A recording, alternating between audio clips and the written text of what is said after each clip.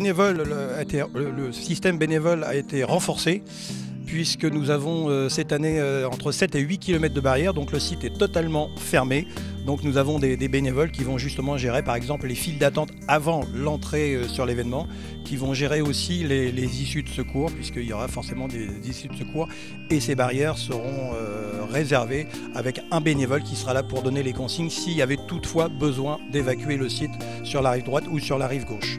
Alors les missions sont assez différentes puisque nous avons 12 commissions et les bénévoles ont été répartis en fonction de leur choix ou en fonction de, nos possibilités sur ces différents critères.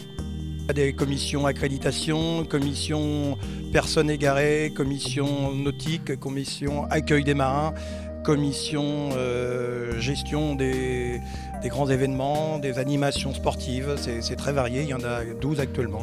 Cette année, a priori, nous serons entre 350 et 400 bénévoles sur l'armada de Rouen.